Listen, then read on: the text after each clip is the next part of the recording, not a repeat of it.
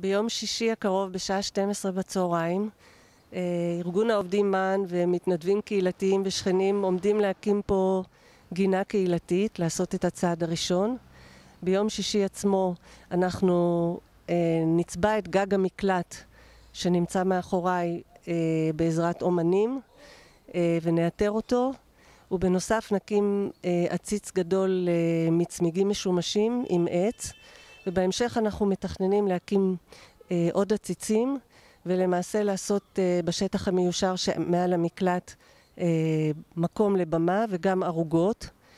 הסיבה לכל זה היא שמען כארגון עובדים הוא מקיים קשר עם הקהילה, הוא מקיים קשר עם אומנים שרוצים לתרום לקהילה וכמובן עם השכנים.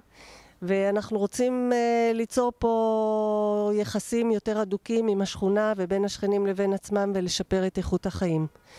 אנחנו מזמינים את כל מי שרוצה לבוא ולהשתתף ביום שישי בשעה 12. אפשר להביא כלי עבודה, סנדוויצ'ים, כיבוד. Uh, תהיה פה עבודה של כל השכונה ואנחנו מקווים לשפר פה את התמונה.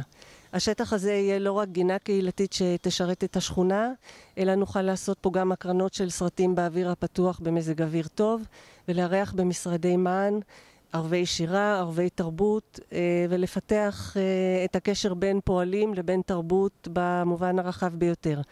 אני מיכל שוורץ, אני מרכזת הסניף של מען בחיפה, ואני רוצה בהזדמנות זו להודות לכל הארגונים ולעירייה שעוזרים לנו, ביניהם החברה להגנת הטבע, אה, גלים, הגינה הקהילתית, אומנים כמו אייל פרידלנדר ואפרת לוין ואחרים יבואו כולם על הברכה.